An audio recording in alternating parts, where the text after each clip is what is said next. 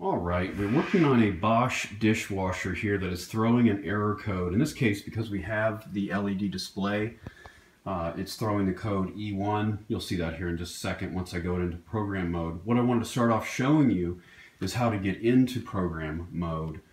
Um, you've got to have the repair manual. All right, so to enter program mode, you're going to have to press in any two cycle keys, in here doesn't matter which two, while then at the same time pressing and releasing the power button.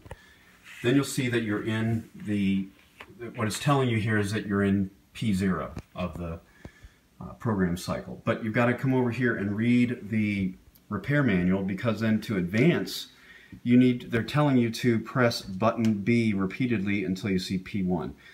Where's button B? You have to locate B using cancel reset. So it is the one that is between cancel reset, which is actually called out as cancel drain in this case. So this would be B. Now we're in uh, program mode. P1 is what they want, want it to be in. So then to start the program mode, you'll press button C. Where's button C?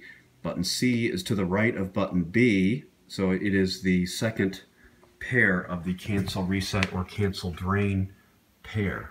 So let's go and press that. There's the stored error code that you'll see that the customer was reporting. E1 is a heating system error and that's why we're going to run the program test program here to track down that error and once the error is corrected you clear the error by running this test program and at the end of the program it, it resets the errors.